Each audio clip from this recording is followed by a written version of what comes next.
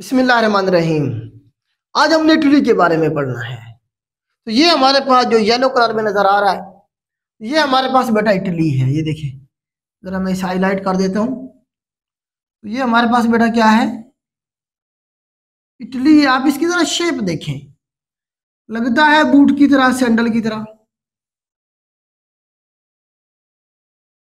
ये सारे का सारा मैप जो हमारे पास है बेटा इसे कहते हैं हम अटेलिक पेननसोला पेननसोला आपको पता है तीन साइडों पे पानी, इधर भी पानी, इधर भी पानी, इधर भी पानी। तीन साइडों पे पानी, एक साइड पे खुश्की, उसे हम क्या कहते हैं पेननसोला कहते हैं। तो ये जो हमारे पास, ये सारे का सारा एक ही कंट्री है। इसका क्या नाम है बेटा? हमारे पास इटली है, इटली। तो इटली को बेटा हम क्या कहते हैं? Boot of the Europe. क्या कहेंगे बेटा इसे हम? यूरोप का बूट। इसकी शेप देखें, बूट की तरह है। तो बूट ऑफ़ द यूरोप या बूट शेप पेननसोला, इसे हम किसे कहेंगे? वो हम इटली को कहेंगे। इटली के हवाले से बेटा कुछ क्वेश्चन बनते हैं इंपॉर्टेंट है ये। इसकी करेंसी देख लें बेटा, पहले हम इसकी करेंसी यूरो है हमारे पास, क्योंकि ये जो यूरोपीय यूनियन है, उसका एक एक्टिव मेंबर है फ्रांस और इटली और जर्मनी। तो करेंसी बेटा इसकी यूरो है, इसका कैपिटल रूम है। ये आपको नज़र आ रहा होगा रूम रूम बेटा क्या है? इसका कैपिटल है। रूम के हवाले से दो तीन सवाल बनते हैं। पहला क्वेश्चन ये बनेगा, बेटा, ये कौन से दरिया के किनारे पे है? तो ये टाइबर रिवर के किनारे पे है। कौन से दरिया के किनारे पे है, बेटा, ये? टाइबर रिवर के किनारे पे है, ये याद रखिएगा इसे। रूम को कहते हैं हम सिटी ऑफ़ सेवन हिल्स सात पहाड़ों की सरजमीन। सिटी ऑफ़ सेवन हिल्स कहेंगे इसे हम। दूसरा इसका ऑप्शन है नेम है, बेटा city of eternal hope city of eternal hope उम्मीदों की, उम्मीदों का city city of eternal hope भी इसी को कहेंगे सवाल बना है पेपर में। इटरनल होप का भी सिटी ऑफ़ सेवन हिल का भी टाइबर रिवर का भी।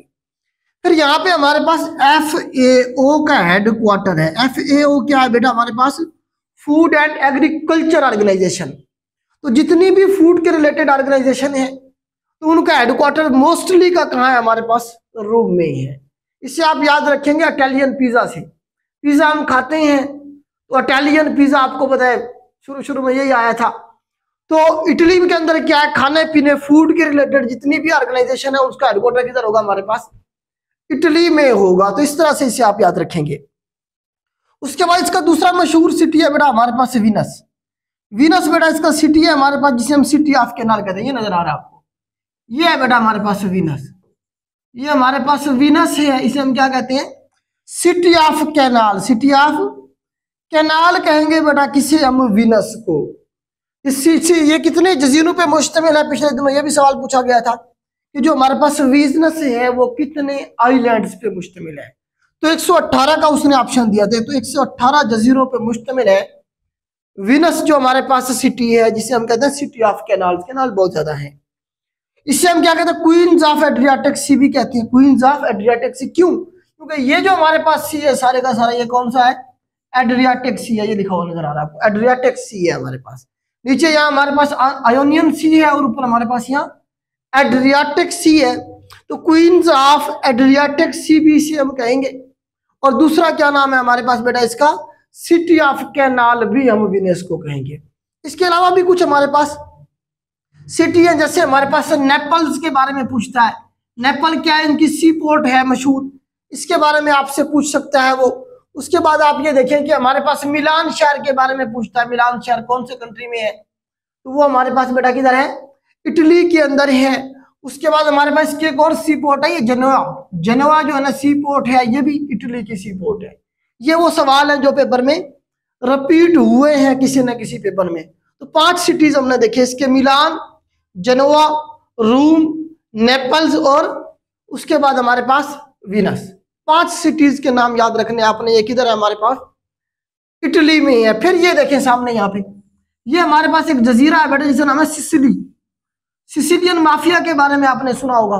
गॉड फादर जो मूवी आई थी, वो यहाँ से बैठ के ऑपरेट किया करते थे यूरोप में। तो सिसिलियन माफिया यहीं से नाम निकला, सिसिली से। यहीं पे रुक, रुकता था। सिसिली जजीरा की तरह बेटा? ये सारे का सारा कौन सा?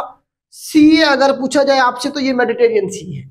Mediterranean sea is part of Atlantic ocean तो यूरोप के साउथ में मेडिटेरियन सी है। फिर ये हमारे पास आड्रियाटिक सी और Ionian sea is part of Mediterranean sea ठीक हो गया जी। उसके बाद इस यहाँ पे एक पर्सनालिटी है जिसके बारे में सवाल बनता है अक्सर। वह जी हमारे पास मेसोलोनी मेसोलोनी तो मेसोलोनी के बारे में आता है बेटा, ये क्या है? फाशिस्ट लीडर है। ये जब सेकेंड वर्ल्ड वार हुई हिटलर ने जब हमला किया यूरोप पे इस पे पोलैंड पे और बाकी फ्रांस वगैरह पे तो उस वक्त ये हिटलर के साथ था। हिटलर और ये दो वाहिद लीडर है दुनिया में, जिन्हें फाशिस्ट लीडर कहा जाता है। ये सवाल बना है पेपर में कि कौन सा दर्ज जाल में से फाशिस्ट लीडर है और कौन सा नहीं है। तो ये हमारे पास मेसोलूनी जो था, इसे हैंग कर दिया गया था, फांसी पर लटका दिया गया था। तो मेसोलूनी जो था, ये फाशिस्ट लीडर था। सेकेंड वर्ल्ड वार के दौरान हिटलर के साथ था ये। ठीक हो गया जी, उसके बाद कुछ क्वेश्चन और है इनके पीएम के हवाले से सवाल बन सकते हैं। ये जरा हम देख लेते हैं। तो इसमें आप ये देखें कि हमारे पास जी जॉर्ज जॉर्जिया मेलोनी, इनकी पीएम है। इनकी पीएम के हवाले से बेटा सवाल बनेंगे। प्राइम मिनिस्टर जो है, जॉर्जिया मेलोनी साहिबा हैं। ये 2022 में आई हैं, अभी तक ये आगे चलेंगी। ये तस्वीर मैंने आपको दिखाने की कोशिश की है। इसके बारे में याद रखना है आपने। दूसरा, यहाँ पे आपने लर्निंग टावर ऑफ़ पीसा है। पीसा का झुका हुआ मीनार ऐसे टेढ़ा हुआ है, इसका एंगल चेंज हो गया है।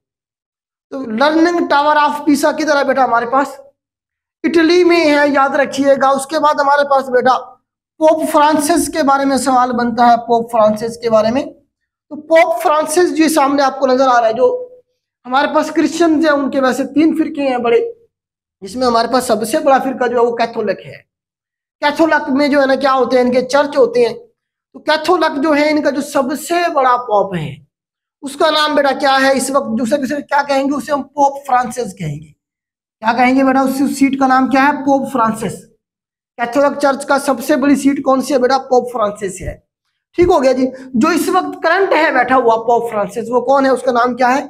मारियो बर्गीगलो मारियो बर्गीगलो साहब हैं जी, ये इनका ताल्लुक अर्जेंटीना से है। इसके बारे में सवाल बनता है, ये फ़र्स्ट क्या है बेटा? नॉन यूरोपियन है। इससे पहले सारे यूरोप से हुआ करते थे। तो ये कहाँ से बिलोंग करता है? सवाल बनता है मारियो बर्गिग्लो का ताल्लुक इधर से अर्जेंटीना से। है साउथ अमेरिका में अर्जेंटीना हमने पढ़ा था। तो ये कौन से नंबर का है बेटा? दो सौ छियासठ। नंबर का ये पॉप है इससे पहले 265 गुजर चुके हैं। तो इसके बारे में सवाल बनेगा ये कहाँ बैठता है? ये वेटिकेन में बैठता है। मैं आपको पिछला जो है मैं दोबारा से दिखाता हूँ ये देखें जरा। इसमें बेटा ये देखिए हमारे पास ये जो रूम है ना इटली का जो रूम है यहाँ पे एक, एक हमारे पास एक सिटी रूम सिटी के, इटली में सिटी रूम रूम में एक और जो है ना, क्या कंट्री है, जिसका नाम क्या है? वेटिकेन वेटिकेन वेटिकेन है हमारे पास तो वेटिकेन दुनिया का स्मॉलेस्ट कंट्री है। Smallest country in the world कहा जाता है। वैसे कंट्री इसे कहेंगे नहीं, क्योंकि ये यूएनओ का परमानेंट मेंबर नहीं है। यूएनओ के जो परमानेंट मेंबर है, वो 193 है। 193 को ही हम कंट्री कहेंगे। लेकिन ये दो ऑब्जर्वर स्टेट है, एक वेटिकन है, दूसरा फलस्तीन है।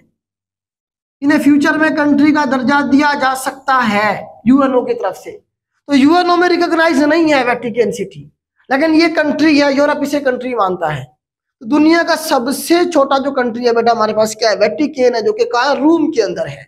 इसका जो एरिया है, तकरीबन आधा किलोमीटर के करीब है। यहाँ तकरीबन एक हज़ार के करीब जो पॉप है, पूरी दुनिया के इधर रहती है। तो यहाँ पे वो हमारे पास क्या रूम मौजूद ही है? तो रूम में जो ये क्रिश्चियंस हैं, उनके मजहबी जो पेशवा है, वो रहते हैं। कोई भी वहाँ जाके जा सकता है मतलब बगैर किसी वीजे का मैं तो सऊदी अरब जाने के लिए क्या करना पड़ता है? वीज़ा लेना पड़ता है। क्रिश्चियंस ने क्या किया? एक अलग से छोटा सा कंट्री बना दिया। पॉप्स का जहाँ पे वो सारे मौजूद होते हैं। तो कोई भी मुल्क जो है ना, उधर पहुँच जाएगा बगैर मतलब किसी भी, कोई भी शहरी क्रिश्चियन अगर अपने पॉप से मिलना चाहेगा तो वो बगैर किसी वीजे के वहाँ जा सकेगा। तो ये बहुत अच्छा इनिशिएटिव है उन लोगों का। तो इस तरह से ये जो है ना, ये हमारे पास रूम के अंदर है, हमारे पास वेटिकन सिटी जहाँ पे पोप फ्रांसिस मारियो बर्गिग्लो साहब बैठती हैं।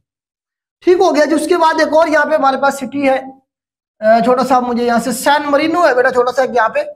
वो भी इसी के साथ ही यहाँ पे कोने पे लगता है। सैन मरीनो यहाँ नज़र नहीं आ रहा है मैप में। तो इसे भी आपने साथ में ऐड कर लेना है। तो ये बेटा आपका इटली के हवाले से एक टॉपिक था मैक्सिमम सवाल, यही बन सकते हैं जो मैंने आपको यहाँ करवाए। उम्मीद करता हूँ जो आपको मैं इटली के हवाले से क्लियर कर पाया हूँ आज के लिए इतना ही, अल्लाह हाफिज़।